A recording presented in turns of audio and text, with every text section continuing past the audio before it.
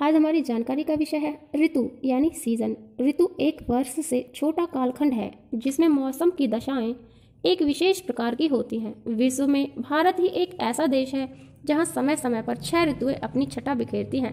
प्रत्येक ऋतु दो मास की होती है। भारत में मोटे हिसाब से तीन ऋतुएँ मानी जाती हैं, शरद, ग्रीष्म, वर्षा, जिसमें प्रत्येक ऋतु चार महीने की होती है, परंतु प्राचीन काल में यहाँ छह ऋतुएँ मानी जाती थी।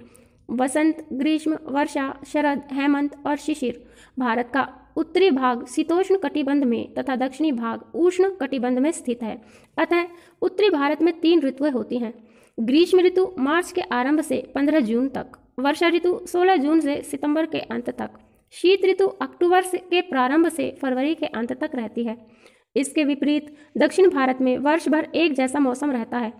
यहाँ शीत ऋतु लगभग होती ही नहीं है। भारत सरकार के आंतरिक विभाग मौसम कार्यालय ने वर्ष को चार ऋतुओं में बांटा है। उत्तर पूर्वी मानसून पवनों का मौसम शुष्क शीत ऋतु एक दिसंबर से 15 मार्च तक उष्ण शुष्क ग्रीष्म ऋतु लगभग 15 मार्च से 10 जून तक। दक्षिणी पश्चिमी मा, मानसूनी पवनों का मौसम वर्षा ऋतु लगभग 10 जून से 30 सितंबर तक शरद ऋतु अक्टूबर के आरंभ से दिसंबर के प्रारंभ तक। बसंत ऋतु को मौसमों का राजा या ऋतुराज भी कहा जाता है। ये मौसम न तो ज़्यादा गर्म, न ही ज़्यादा ठंडा होता है। जब धीरे धीरे मौसम में गर्माहट आने लगती है, तब ग्रीष्म ऋतु आरंभ होती है। ग्रीष्म ऋतु के दौरान दिन लंबे और रातें छोटी होती हैं। वर्षा ऋतु को मानसून सीज़न भी कहा जाता है। वर्षा ऋतु के दौरान भारत में बहुत ज़्यादा वर्षा होती है। शरद ऋतु में गर्मी धीरे धीरे कम होने लगती है। इस मौसम के दौरान काफ़ी महत्वपूर्ण पर्व आते हैं, जैसे नवरात्रि, विजयादशमी, शरद पूर्णिमा आदि।